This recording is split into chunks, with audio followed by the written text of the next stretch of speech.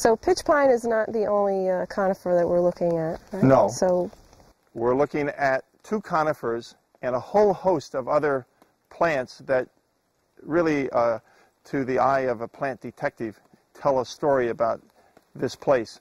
One of the things that's very interesting is that the, the typical uh, shrub layer of the pine barrens, not the trees, but the shrub layer uh, of the pine barrens is very different here than what you would normally expect. For example, there's catbrier or greenbrier in some abundance here, which is unusual because this is a fire area and that particular plant perishes in fire. So why is it here? And where is the scrub oak? I don't see any of the second That's really the second major. Uh, second major plant, uh, which is Quercus ilicifolia. That particular plant is an oak. It's missing. Why? And you start to see other things as well, and you say, hmm, there's blueberries here, and over by the marsh, there's marsh elder. I've never seen marsh elder intergrowing with blueberries before, but there, you see it here. But what the land use history here uh, is, is that this was an area that was settled early and they used it for grazing.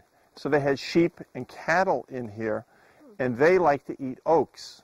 And over time, they ate all of the acorns. And then the fire came through and there were no acorns left. And so the sheep, um, in particular, are responsible for the absence of the scrub oak. Um, and the birds are responsible for the presence of dropping seeds here as they fly through these woods to constantly uh, bring in uh, the, uh, the catbrier or the greenbrier. So the greenbrier would never have had a foothold here if it wasn't for the fact that the oaks are gone, that the scrub oak is, is missing, and that's a result of the historic use of this as a pasture.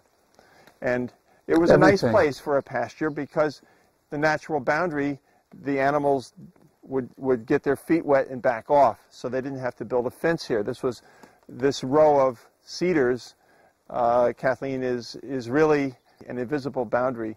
And so the animals stayed on this side of that uh, tree boundary.